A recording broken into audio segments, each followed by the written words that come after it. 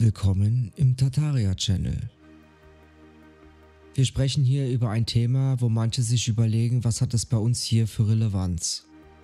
Nun, wir befinden uns ja im Prozess des Erinnerns, des Erwachen oder der Auflösung von Indoktrinierungen. Wir hatten darüber vor langer Zeit im Telegram-Kanal gesprochen und Männer wie Frauen hat es wirklich sehr interessiert. Und das ist die Zusammenfassung hier in einem Video gepackt.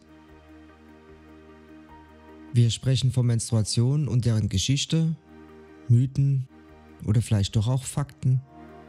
Die Menschen der Vergangenheit fühlten sich oft wie eine andere Spezies an, aber wenn man sich daran erinnert, dass auch Kleopatra herausfinden musste, was zu tun war, wenn sie ohne Menstruationsvorräte erwischt wurde,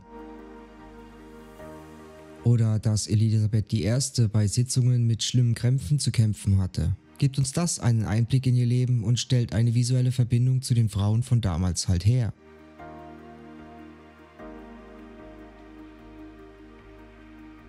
Tauchen wir also ein in die Geschichte der Periode, in den Glauben, den sie inspiriert hat, in die manchmal wilde Vorstellungen, die sich um sie herum gebildet haben und in die Art und Weise, wie die Menschen im Laufe der Jahrtausende mit ihnen umgegangen sind. Dieses Video konzentriert sich auf das Leben und die Zeiten der Frauen in der Geschichte.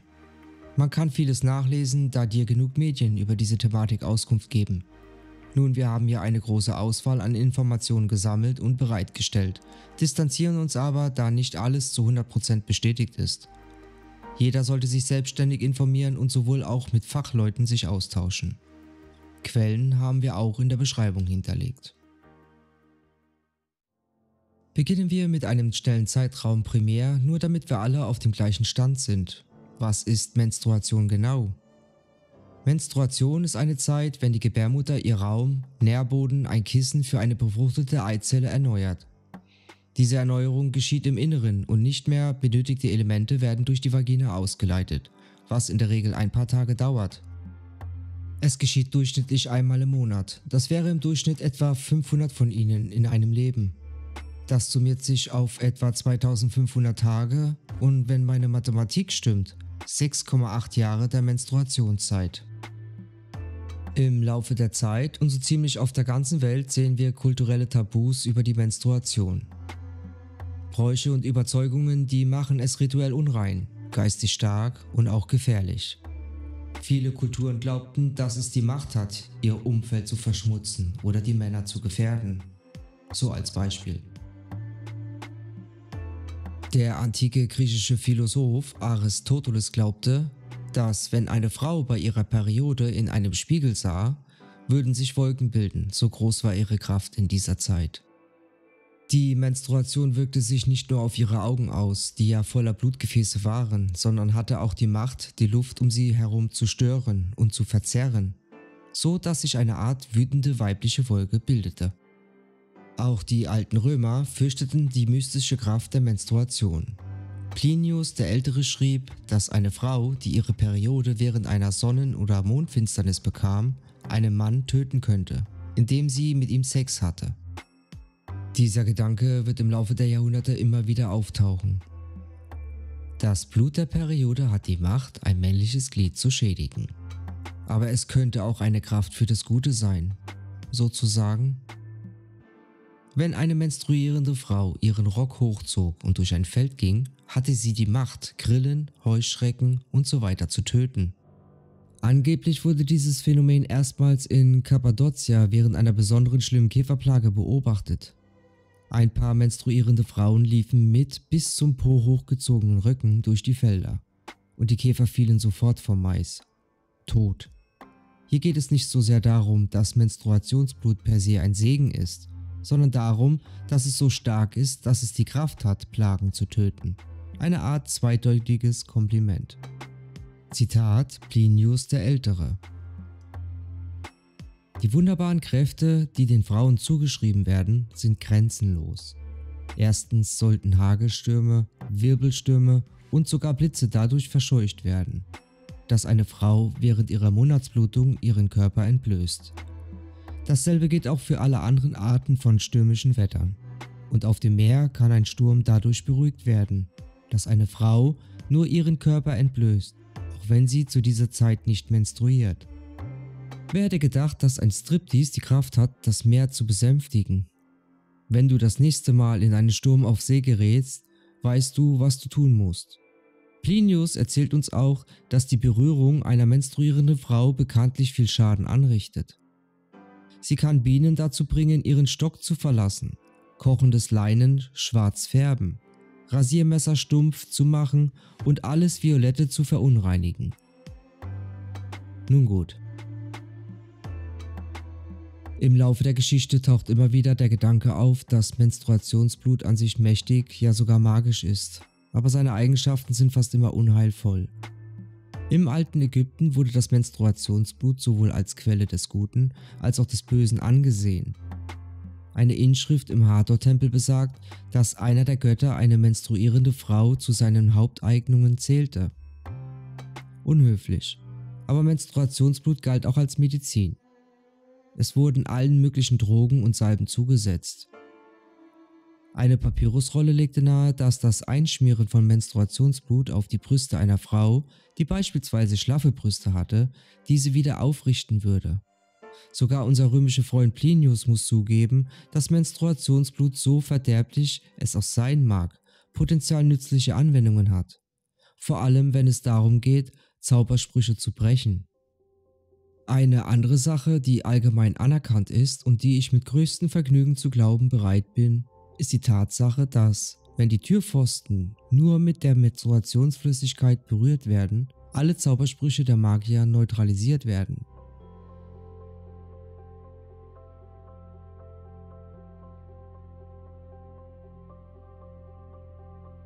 Es macht Sinn, dass Blutkonserven oft mit Magie in Verbindung gebracht werden. In Zeiten, in denen wir nur wenig über die Funktionsweise unseres Körpers wussten, erschien uns das Ganze geradezu magisch. Es unterscheidet sich von anderen Formen des Blutes. Es gerinnt nicht wie eine Wunde und es kann nicht gestillt werden. Es kommt und geht nach einem regelmäßigen Zeitplan und ist typischerweise mit einem bestimmten Geschlecht verbunden. Seit langem wird die Periode auch mit dem Mond in Verbindung gebracht. Etymologisch gesehen leitet sich das Wort Menstruation vom lateinischen Wort menstruare ab, das von menstruus monatlich und mensis Mond abgeleitet ist. In mehreren Religionen wird die Menstruation mit dem Mond in Verbindung gebracht, was Sinn macht, da sie in einem monatlichen Zyklus abläuft. Und die Mondgottheiten werden fast immer als weiblich dargestellt. In der Mythologie der Maya geht die Geschichte der Menstruation auf die Mondgöttin zurück, deren monatliche Regelblutungen ihr als Strafe dafür zuteil wurde, dass sie mit dem Sonnengott geschlafen hatte, obwohl man es ihr verboten hatte. Wie kannst du es wagen? Ihr Blut wurde in 13 Gefäßen aufbewahrt, wo es sich in Schlangen, Insekten, Gift und unzählige Krankheiten verwandelte und als Zutat für Zaubertränke verwendet wurde. In vielen Kulturen auf der ganzen Welt wurde die Menstruation als Mittel zur Stärkung der Persönlichkeit angesehen. In Nordamerika glaubten die Cherokee traditionell, dass Menstruationsblut Frauen besondere Kräfte verleiht, mit denen sie ihre Feinde vernichten könnten. Ihr Blut macht sie mächtig, es verleiht ihr spirituelle Kräfte. Das bedeutet aber auch, dass sie zu einer Gefahr für die ganze Welt werden kann. So ist es nicht verwunderlich, dass es in vielen Kulturen die menstruierenden Frauen während ihrer Monatsblutung von der Gemeinschaft isoliert und in Hütten verbannt wurden, um sie aufzuwarten. Dies wurde als eine Art Gefängnis für die Periode dargestellt, aber anthropologischen Studien legen nahe, dass diese Isolation nicht immer strafend ist. Diese Hütten dienten auch als Ort der Ruhe und Besinnung, des Handwerks und des Austauschs sowie als Pause von den häuslichen Anforderungen.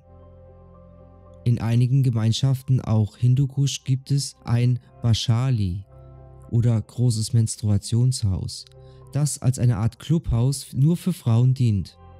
Es ist ein geheimer und verehrter Ort, der sogar als heilig gilt. Einige Kulturen haben es nicht für gut oder schlecht befunden, sondern seine starke Kraft anerkannt. Bei den westafrikanischen Beng sollen Frauen nicht in die Ernte gehen, aber nicht, weil es der Ernte schaden könnte, sondern weil die Vermischung von biologischer Fruchtbarkeit und pflanzlichem Wachstum ihr Kinderkriegen beeinträchtigen könnte. In der nicht westlichen Welt gibt es zahlreiche Rituale rund um die erste Blutung einer Frau, die sie anerkennen und respektieren. Bei den Asanten in Afrika werden Mädchen, die ihre erste Periode bekommen, traditionell gefeiert, indem sie unter einem königlichen Schirm sitzen und Geschenke erhalten. Der Euphemismus, der oft verwendet wird, um eine Asante Mutterkönigin mitzuteilen, dass ein Mädchen in ihrer Gemeinschaft ihre erste Periode bekommen hat, ist ein Satz, der übersetzt Sie wurde vollkommen gemacht bedeutet. Jipfe in Nordamerika haben ein Ritual für den ersten Menstruationszyklus eines Mädchens. Sie fasten ein ganzes Jahr lang und essen keine Erdbeeren, um den Übergang von der Kindheit zum Erwachsensein zu feiern. Es ist eine Zeit, in der man von den älteren Frauen der Gemeinschaft Weisheit lernt und sich mit seinen Vorfahren verbindet. Eine Verbindung zur Zukunft und zur Vergangenheit. Und doch ist der Glaube an die zerstörerische Kraft des Menstruationsblutes ziemlich weit verbreitet. In England in der Tutorzeit gab es Leute, die glaubten, dass Menstruationsblut einer Frau gefährlich sei, ja sogar giftig und könnte einem männlichen Glied ernsthaft schaden. Ein Kind, das durch Sex während der Menstruation geboren wurde, würde äh, papalapap, rothaarig und möglicherweise missgebildet enden.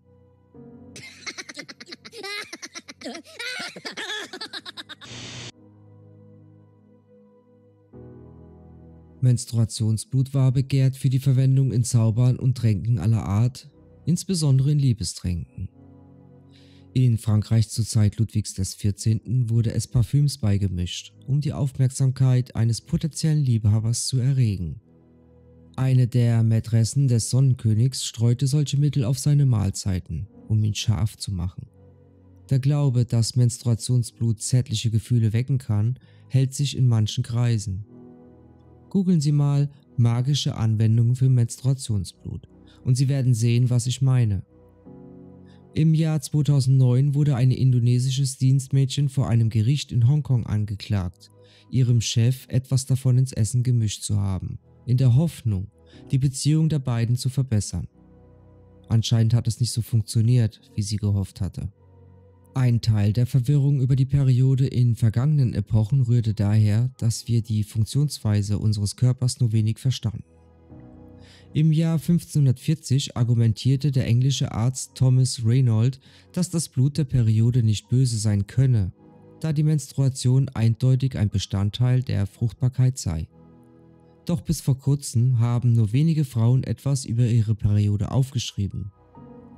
Hildegard von Bingen, eine mittelalterliche Nonne und Visionärin, schrieb darüber, dass sie glaubte, Menstruationsblut könne Dinge wie Lepra heilen aber sie war die Ausnahme, nicht die Regel. Je weniger wir darüber sprachen, desto mehr wurde es zu einem mysteriösen Geheimnis, was seine mystische Kraft und die Ängste, die es umgeben, nur noch verstärkte. Der Akt der Menstruation wurde auch als wichtig für die Gesundheit angesehen.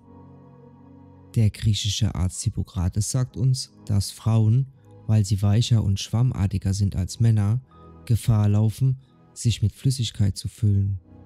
Wenn sie diese nicht ausscheiden, könnten sie in ihrer weiblichen Essenz ertrinken oder von ihr verrückt werden. Dies gilt besonders auch für Jungfrauen. Er sagt, dass sie während ihrer ersten Menstruation oft schlechte Träume und Visionen haben. Ja, das Stigma, Frauen, die ihre Tage haben, spielen verrückt, hat eine lange Tradition. Aber keine Sorge, er hat uns Vorschläge, wie man einen verlorenen Menstruationszyklus anregen kann. Dazu gehören Kuhmist, Rindergalle und Myrrhe. Äh, Hippokrates. Er hat auch eine Meinung dazu, was die Länge der Periode einer Frau anzeigt. Wenn sie länger als vier Tage dauert, sind ihre Eizellen wahrscheinlich empfindlich. Das ist nicht gut, aber wenn sie weniger als drei Tage dauert, neigen Frauen dazu, ein männliches Aussehen anzunehmen und es ist unwahrscheinlich, dass sie überhaupt schwanger werden. Das ist ein ziemlich kleines Fenster der weiblichen Gesundheit, in einer Zeit, in der die Fähigkeit, gesunde Kinder großzuziehen, von größter Bedeutung war. Waren die Länge und die Eigenschaften der Menstruation Dinge, mit denen man nicht unbedingt Werbung machen wollte. Und doch ist es ein Thema, das manchmal in die Öffentlichkeit dringt, vor allem wenn man eine Persönlichkeit des öffentlichen Lebens ist. Catherine von Aragon, die erste Frau des englischen Königs Heinrich VIII., litt bekanntermaßen unter unregelmäßigen Regelblutungen und viele Menschen wussten davon. Die französische Königin Marie Antoinette hielt ihre Mutter in Wien auf dem Laufenden darüber, wie es in ihrem Unterleib zuging. Zwei Jahrhunderte zuvor beschäftigte Katharina von Medici eine ganze Reihe von Personen, um den Zyklus ihrer Tochter zu dokumentieren. Einer der Gründe, warum die Zeiträume seit jeher so genau beobachtet werden, liegt darin, dass sie den Übergang von der Kindheit zum Erwachsensein signalisieren und in einigen Augen einer Person als reif für die Ehe kennzeichnen. Die Engländerin Margaret Beaufort heiratete und gebar den zukünftigen König Heinrich VII. in Alter von nur 13 Jahren. Folgen wir diesen sich rasch verdunkelnden Kaninchenbau noch ein wenig weiter zu einem anderen beunruhigenden, blutbezogenen Kontrollinstrument.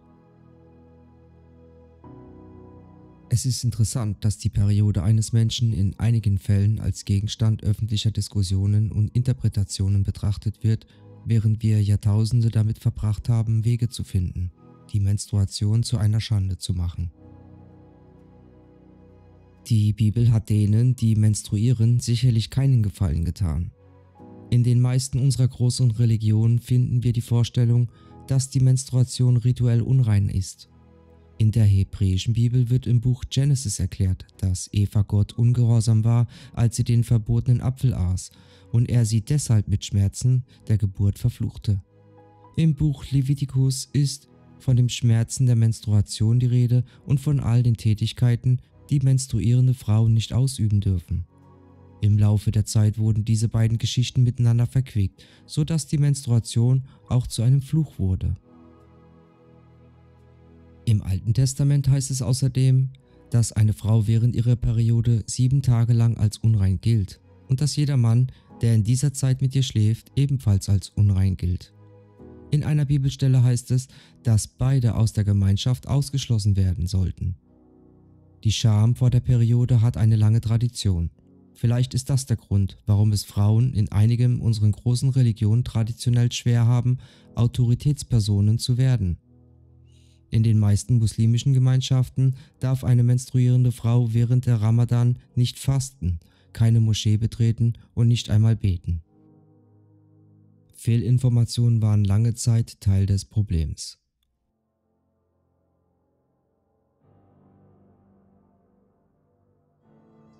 Menstruationsblut ist nicht die Art und die Weise, wie der Körper Giftstoffe ausschwemmt. Nichts daran ist schädlich. Eigentlich ist es nicht einmal Blut, sondern eine Mischung aus Blut, Schleim, Bakterien und Gebärmuttergewebe. Es ist keine magische, schädliche Substanz, die Ungeziefer tötet und alles schädigt, was sie berührt. Und doch halten sich Schamgefühle und die Vorstellungen von Unreinheit hartnäckig. Das wiederum führt dazu, dass wir sie oft verstecken wollen. Im Jahr 2010 zeigte eine Studie in Schweden, dass nur 38% der Frauen, die unter übermäßigen Menstruationsblutungen leiden, ihre Ärzte davon erzählten. Ein Artikel in der britischen Fachzeitschrift The Lancet aus dem Jahr 2018 legt nahe, dass fast 80% der Jugendlichen, die menstruieren, besorgniserregende Menstruationssymptome hatten, aber nicht zum Arzt gingen. 27% von ihnen gaben an, dass es ihnen zu peinlich war, darüber zu sprechen. Da hilft es auch nicht, dass wir selbst in unserer Sprache nur ungern explizit über die Periode sprechen. Wir neigen dazu, Euphemismen zu verwenden. Eine 2016 durchgeführte Studie, bei der Menschen in 190 Ländern befragt wurden, welche Begriffe sie verwenden, um über die Menstruation zu sprechen, ergab rund 5000 Slang-Begriffe. Einige der weltweit gebräuchlichsten sind Tante Flo, diese Zeit des Monats, dieses Ding, auf dem Putz hauen, die rote Flut, Damenzeit und Erdbeerwoche. Die Dänen werden lyrisch mit Malern im Treppenhaus und experimentell mit der Er Kommunista, I lose to sit. Es gibt Kommunisten in der Gartenlaube. Selbst in der Werbung für zeitgenössische Produkte haben wir uns schwer getan, die Dinge beim Namen zu nennen. In der Vergangenheit wollten selbst Binden- und Tamponsherstellern in ihrer Werbung nicht offen darüber sprechen. Stattdessen warben sie mit großen, aufgeblasenen Slogans wie frei von Peinlichkeit und hygienische Freiheit. In einer Codex-Broschüre mit dem Titel As One Girl to Another aus dem Jahr 1940 heißt es, ihre Binden würden niemals verräterische Umrisse machen und niemals ihr Geheimnis verraten. In Amerika war Werbung für Menstruationsprodukte im Fernsehen bis 1972 verboten und es dauerte bis 1985, bis jemand tatsächlich das Wort Periode in einer der nationalen Tamponwerbung aussprach. Diese Person war eine junge Courtney Cox. Do you change your life for one week because of that time of the month? Still using pads? Then let me tell it to you straight. Tampax can change the way you feel about that time. Tampax tampons protect differently than a pad, so you feel cleaner. And feeling cleaner is more comfortable. Plus, more women use Tampax than any other tampon or pad. Now that's something. Remember, there's a feeling with Tampax. It can actually change the way you feel about your period. Da die Menstruation als eine Art beschämendes Geheimnis dargestellt und mit Unreinheit in Verbindung gebracht wird, versuchen viele Menschen, die menstruieren, die Anzeichen zu verbergen und sprechen nur ungern darüber. Viele verstehen es nicht wirklich. Zahlen des Eve Appeal aus dem Jahr 2019 deuten darauf hin, dass jede vierte junge Menstruierende nicht wusste, was eine Periode ist, bis sie eine hatte. Kommen wir noch kurz von der Menstruation selbst zu den Dingen, die benutzt wurden, um mit ihr umzugehen. Zunächst sollten wir anerkennen, dass die Menschen in der Vergangenheit wahrscheinlich weniger Perioden hatten als wir. Das liegt an der schlechten Ernährung, der kürzeren Lebenserwartung und der Tendenz, früh und oft Kinder zu bekommen. Aber wenn sie ihre Periode bekamen, hatten sie nicht die Möglichkeit, in den Laden zu rennen, um eine Schachtel Tampons zu kaufen. Was haben wir in der Vergangenheit verwendet, um die Periode zu stoppen? Aus vielen Gründen gibt es aus der Vergangenheit nicht viele Hinweise darauf, welche Hilfsmittel für die Periode verwendet wurde. Aber es macht Sinn, dass diejenigen, die menstruierten, zu dem griffen, was sie hatten. Meistens handelte es sich dabei um eine Art selbstgemachte Binde. Die alten Ägypter scheinen eine Art von Lendenschürz gehabt zu haben. Wir wissen das, weil wir in einer der Papyrusrolle, die eine Liste unangenehmer Berufe beschreibt, erfahren, wie scheiße es ist, ein Wäschemann zu sein, nämlich weil er mit den befleckten Unterhosen von Frauen umgehen musste. Im europäischen Mittelalter gab es eine weit verbreitete Art von besonders saugfähigem Moos. Manche glauben, dass es seinen populärsten Spitznamen Blutmoos wegen seiner Verwendung auf dem Schlachtfeld erhielt. Andere wiederum meinen, dass es seinen Namen verdiente, weil es so oft verwendet wurde, um andere Arten von Blut aufzusaugen. Aber die einfachste und wahrscheinlichste Lösung für fast der gesamten Geschichte war eine Art Lappen, meist aus Leinen. Nicht umsonst ist einer der beliebtesten Euphemismen für die Menstruation auf dem Lappen sein. Diese waren relativ leicht zu beschaffen, zu waschen und wieder zu verwenden. Aber die meiste Zeit der Geschichte trugen die Frauen keine Unterwäsche. Wie also hielten sie diese Tücher an ihrem Platz? Auch hier ist die Sache nicht ganz klar, da die meisten Frauen diese Produkte zu Hause selbst herstellten aber die Werbung, die in der viktorianischen Ära auftauchte, gibt Hinweise darauf, wie einige Produkte funktioniert haben könnten. Die meisten der angebotenen kommerziellen Hygieneprodukte enthielten Gürtel, an denen man ein wiederverwendbares Tuch befestigen konnte. Im Grunde haben wir es also immer noch mit den ägyptischen Lendenschürzen zu tun. Diese waren zur Zeit meiner Großmutter noch weit verbreitet wenn ein Gürtel nicht ihr Stil war, schlugen diese Anzeigen ein paar Hosenträger vor, die ihre Menstruationsbinde dort hielten, wo sie hingehörte. Wenn Sie sich vorstellen können, konnten diese Dinger sperrig und unbequem sein. Es gibt viel über diese Arten von Blutsammlern und mittlerweile auch über einen Trend hinweg von diesem und zum Natürlichem. Wir werden jetzt noch einmal auf einige Punkte zurückgehen und meine Recherche hat einige Aussagen gefunden, die interessant klingen. Ein Artikel Die Geschichte der Menstruation besagt folgendes. Zu Zeiten des Matriarchs vor Beginn unserer christlichen Zeitrechnung war das monatliche Blut der Frau hoch verehrt und angesehen als Heilmittel und direkte Verbindung zu spirituellen Ebenen. Die Göttin war immer gegenwärtig und ihre Weiblichkeit heilig. Das weibliche Prinzip spiegelte sich überall in den Zyklen der Natur, wie etwa den Jahreszeiten, dem Mondzyklus und Ebbe und Flut wider. Das Menstruationsblut wurde zum Sinnbild für Leben und Tod für Veränderung und Übergang. Die Menschen erahnten die weibliche göttliche Kraft überall, verehrten sie und beteten sie beispielsweise als Mondgöttin, als Mutter Erde, manchmal auch in Form eines Tieres an. Die Frauen verbrachten die Menstruation in Hütten außerhalb des Dorfes, nicht wie Aussätzige, sondern um gemeinsame menarchen Riten zu feiern, sie im Frauenkreis zu stärken und zu entspannen. Man wusste damals, dass während der Menstruation die Frau besonders intuitiv war und offen für Visionen. Tabu war sie deshalb, weil ihr Blut so heilig war. Heil, heilig, Heilung.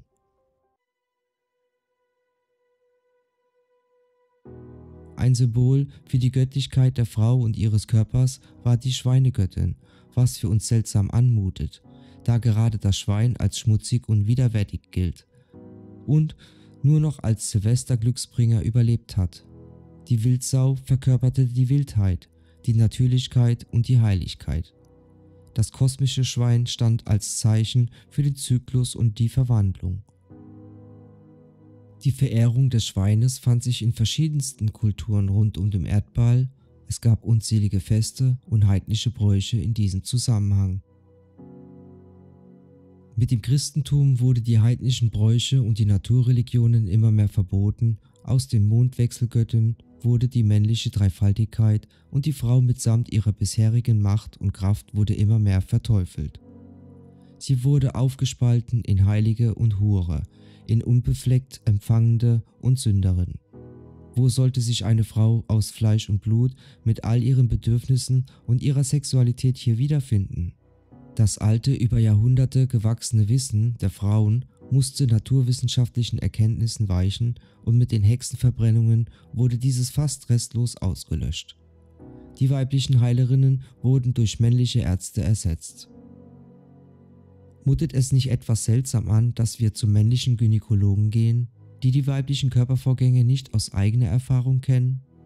Die Frau und ihr Blut wurden abgewertet als hysterisch, in Klammern, Gebärmutter ist gleich Hysteria, Klammer zu, und schwach. Sie hatte sich dem Mann und der neuen Ordnung des Patriarchs unterzuordnen. Die Regelblutung wurde immer mehr zum Übel erklärt, als schmutzig und ekelerregend empfunden von beiden Geschlechtern. Es geht sogar so weit, dass Genitalien verstümmelt werden, um diese weibliche Kraft und Lust zu unterbinden und das noch heute. In der Sprache drückt diese Abwertung aus, zum Beispiel im englischen Wort the curse, der Fluch, für die Regelblutung. Ein völlig natürlicher Vorgang im weiblichen Körper wird immer mehr zur Krankheit degradiert oder totgeschwiegen und steht damit im engen Zusammenhang mit der Missachtung der Frau. In der Werbung sieht man blaue Flüssigkeiten, die blütenweiße Tampons nicht verunreinigen. Aus Erfahrungen führen Tampons auch zu Energiestau und lassen das an sich frische, nach Eisen riechende Blut übel riechen. Gesellschaftlich wird erwartet, dass die Frau an jedem Tag gleich gut funktioniert als Arbeitnehmerin, Unternehmerin, Mutter und Partnerin. Als kleines Mädchen lernen wir sehr durch das Vorbild unserer Mutter. Nicht so sehr, was sie uns erzählt, sondern wie sie handelt und sich im Alltag verhält. So wird zum Beispiel Scham gelernt, Scham ist ja auch sinnvoll, schützt unsere Intimsphäre, die übertriebenen Scham allerdings grenzt unseren Erlebnisraum ein. In der modernen Gesellschaft ist kein Platz für die Verschiedenheit der drei weiblichen Phasen. Dabei erlebt eine Frau im Kreise eines Zyklus vier sehr unterschiedliche Phasen, die auch ein schönes Symbol für die Lebensphasen einer Frau darstellen. Beobachten Sie selbst über mehrere Zyklen und ihre damit verbundene sich verändernde Energiequalität. Am Anfang eines Zyklus sind Sie die weiße Frau, die Jungfrau, die reine, das Mädchen, welches innovativ und neugierig in den Tag hineinlebt. In der zweiten Phase sind sie die rote Frau, die Mutter, die Beschützerin, die pflegt und umsorgt. In der dritten Phase kommen sie in die violette Phase, wo sie als Zauberin Zugang zu spirituellen Ebenen haben. Und in der vierten schwarzen Phase sind sie die alte Frau, die durch ihre Lebenserfahrung weise geworden ist und sich mehr zurückzieht, aber auch ihr Wissen teilt der Mond symbolisiert auch die Veränderbarkeit und menstruiert im selben Zeitraum wie die Frau. Der Mythos von Chore, Demeter und Persephone beschreibt auch den weiblichen Zyklus. In den Göttinnen ist jeweils eine Zyklusphase beschrieben.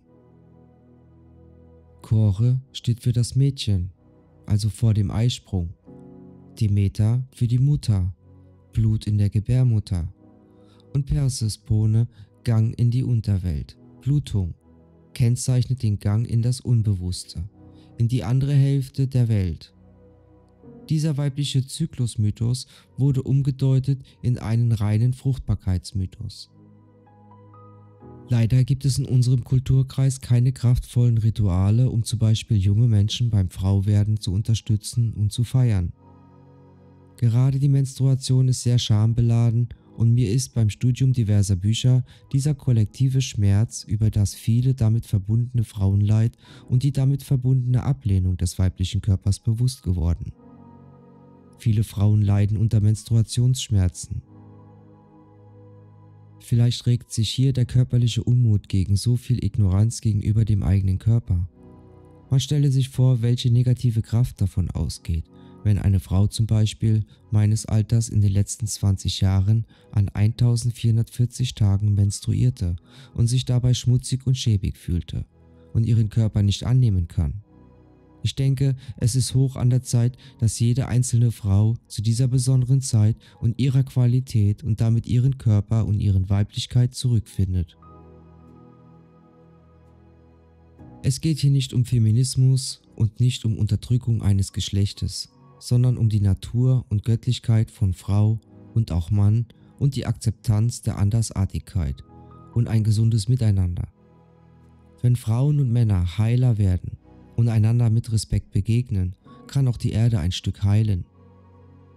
Viele Frauen berichten, dass sie vor der Menstruation sehr aggressiv erleben diese Aggression braucht auch ihren Ausdruck und rührt vielleicht daher, dass diese Tage der besonderen Sensibilität ungesunde Lebenssituationen aufdecken und eine Zeit der Wahrheit sein können. Natürlich fällt es schwer, etwas anzunehmen, das gelegentlich solche Schmerzen verursacht. Wenn es gelingt, Schmerzen nicht nur als etwas zu sehen, das man auf der Stelle loswerden will, sondern als Alarmsignale und Signallichter des Körpers, können wir Unstimmigkeiten in unserem Leben aufspüren und sie konstruktiv verändern. So können Beschwerden zu einer Chance werden, die eigene Lebenssituation einmal gründlich zu überdenken und die notwendige Veränderungen vorzunehmen. Wir sind mit angelernten Bewertungssystemen sehr rasch versucht Krankheit als negativ und Gesundheit als positiv zu bewerten. Und dennoch sind es einfach zwei verschiedene Wege, zwei Pole, ein und denselben, die neutral betrachtet werden sollten. Der Weg von der Krankheit zur Heilung kann als Bewusstwerdungsprozess betrachtet werden. Er ermöglicht es ihnen, ihren Körper und ihre Seele zu erforschen und sich Klarheit über ihre wirklichen Bedürfnisse zu verschaffen. Schmerzen und Beschwerden können also helfen, wieder zu einem Gleichgewicht zu finden. In der Tradition der weißen Frau wird auch die Selbstbestimmung und Eigenmacht der Frau betont, die sie lange Zeit innehatte. Ein Weg zu einer positiven Einstellung der eigenen Blutungen gegenüber ist sicher die Wertschätzung des Körpers mit seinen natürlichen Prozessen, ein Anerkennen der eigenen Bedürfnisse. Gerade Frauen neigen dazu, zu vermeintlichem Wohle anderer ständig ihre Grenzen zu überschreiten eine Sanftheit mit sich selbst und ein Austausch in Frauengemeinschaften darüber.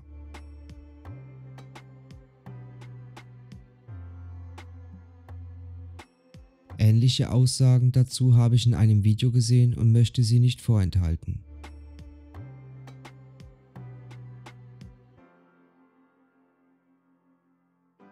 Mia Magic beschreibt, dass es um die Heiligkeit unserer Perioden und die Wahrheit, wie magisch unsere Mondzeit und unser Mondzyklus sein können. Du kannst mit deinem Blut alle Arten von Magie machen und dich während deiner Menstruation auf schöne Weise ehren. Es ist so wichtig für Frauen zu wissen, wie natürlich schön, heilig, magisch und wichtig ihre Mondzeit, ihr Menstruationszyklus, ihre Blutung ist. Es gibt viel zu viel Stigma wie falsch, eklig, schmutzig oder wenn du mit einem Mann zusammen bist, der dir das Gefühl gibt, dein Mond sei eklig oder schmutzig oder schlecht oder igitt. Frauen sind die einzigen Wesen, die ohne Fremdeinwirkung bluten und nicht dabei sterben können. Das ist das ursprüngliche Blut Christi. Wenn wir über das Blut Christus sprechen, eigentlich bedeutet es das Bewusstsein, dieses unbefleckte Bewusstsein, Wissen um unsere eigene Göttlichkeit und unserer Macht. Das ist Christusbewusstsein und Frauen sind die ursprüngliche Quelle des Blutes Christi. Einer der ältesten Zeremonialstätten, die jemals gefunden wurde, ist über 40.000 Jahre alt geschätzt. Es wird übrigens gesagt, es sind Begräbnisstätten. Nein, sind es nicht. Auf jeden Fall zwei Dinge, die sie gefunden haben, waren Schwanenflügel und Felsen, die mit Menstruationsblut bedeckt waren. Dieses Blut, die Flüssigkeit, ist Schöpfung. Es stoppt, weil ein Baby mit diesem Blut selbst erschaffen wird. Die Stellen, die dieses Blut vergießen, tun es nicht mehr, weil sie bauen, erschaffen ein neues Leben, einen Menschen. Zum anderen erhalten wir eine Seele, denn da ist ein Portal in jeder Frau. Selbst wenn deine Gebärmutter nicht intakt ist oder etwas nicht stimmt, hast du immer noch dieses energetische Portal. Es ist vielleicht nicht das physische Portal, wie es wäre, wenn du es könntest. Dieses Portal ist ein Energiezentrum, das Chakralchakra. Dieses Stimmungsblut hat sehr wenig Geschmack, fast keins. Es liegt daran, dass ich sauber esse, ich auf mich aufpasse. Nicht jetzt, duschen oder sowas, ich rede darüber, dass ich mich um meinen Körper kümmere, um meine Mondzeit ehre. Ich schlafe währenddessen nicht bei meinem Partner, sondern in getrennte Zimmer. Vielleicht maximal zwei Tage in meinem Zyklus. Den Rest schlafen wir alleine. Damit haben wir die Möglichkeit, dass jeder die Zeit bekommt, sich um unsere Träume zu kümmern, um sich bewusst zu werden, wie wir uns fühlen, so viel wie möglich sich von anderen freizunehmen. Uns wurde beigebracht, dass wir unsere Menstruation gerne durchhalten müssen und während wir bluten gerne weitermachen. So los, gib Gas, du verstehst? Also in Bewegung bleiben müssen. Nein. Der Grund, warum Frauen synchronisieren, ist, wenn du mit Freundinnen rumhängst und einer blutet, dann du plötzlich auch blutest. Du bist nun sechs Tage früher und bam, was auch immer es ist, weil in Stammzeiten, als wir alle zusammen lebten, als kein künstliches Licht gab und keine künstlichen Hormone gab, die unsere Zyklen und unsere Körper durcheinander bringen. Wir alle diese magische Woche zusammen haben. Wir würden uns im roten Zelt oder einem bestimmten Ort uns versammeln, um auf die Erde zu bluten.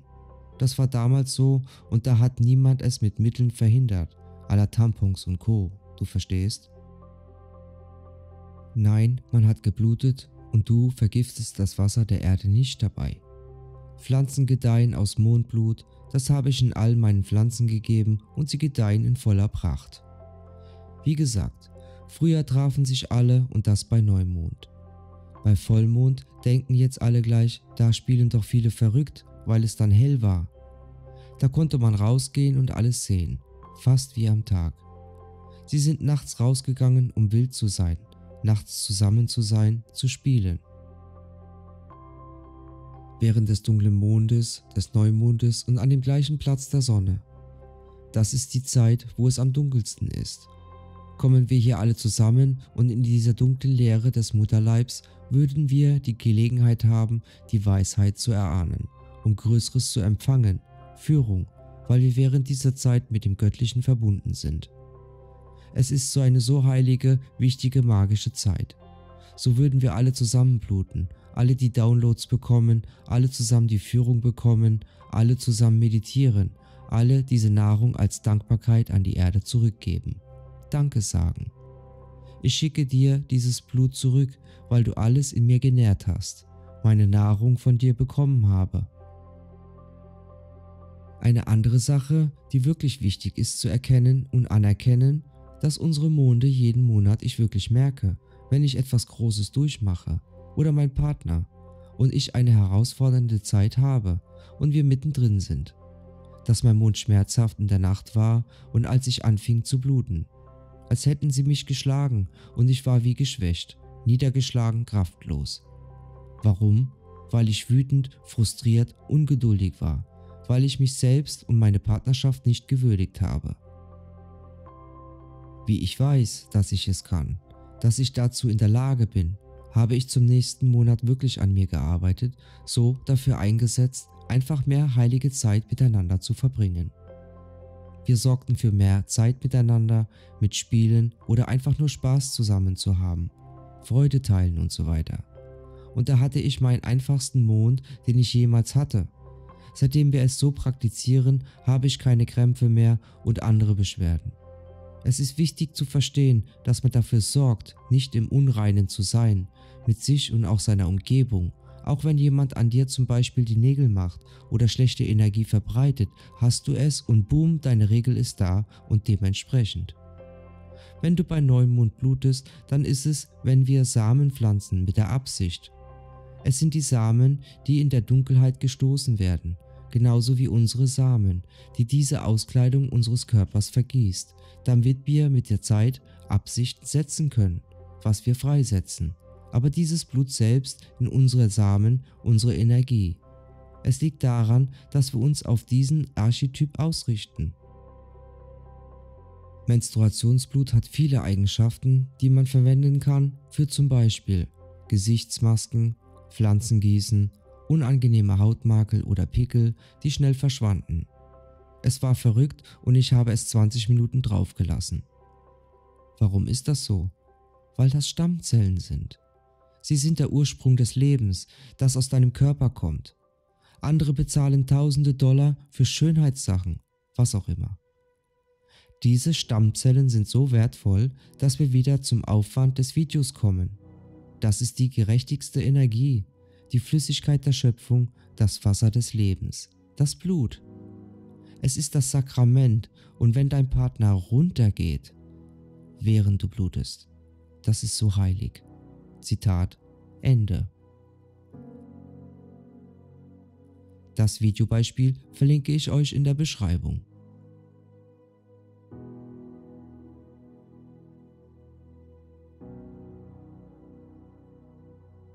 Hier kommen wir nur zum Punkt des Ganzen und der ist vielleicht der Grund, warum es ab einem bestimmten Zeitpunkt alles verdreht wurde und wir heute es für verpönt halten. Die Stammzellen sind vielleicht der Schlüssel, vor allem die körpereigenen, die einem schon selbst dabei helfen, bei kleinen Symptomen eine schnellere und chemiefreie Heilung erzeugen. Es gibt bestimmt auch Heilung bei größeren Sachen, aber dies gilt zu hinterfragen. Es ist nicht nur bei Menstruationsblut der Fall, wo Stammzellen vorhanden sind, sondern auch in Urin, wo auch wiederum es Therapien gibt, die mit Eigenurin schneller und effizienter wie auch kostengünstiger bis kostenlos zur Genesung schneller führen kann. Das wird aber denke ich zu einem anderen Video werden, da es hier den Rahmen sprengen würde. Wichtig sei dabei auch zu erwähnen, dass wir hier mit einer milliardenschwerer Industrie zu tun haben. Menstruationsblut wird in bestimmten Ländern gesammelt und die Probanden dafür bezahlt. Und je jünger, umso besser Ihr versteht vielleicht auch jetzt, dass dieses Thema nicht unwichtig ist und auch so seltsam es klingt, für beide Geschlechter hier einige Punkte mal erwähnt wurden und sich dessen bewusst werden, warum wir so denken und handeln, im Gegensatz zu älteren Epochen eventuell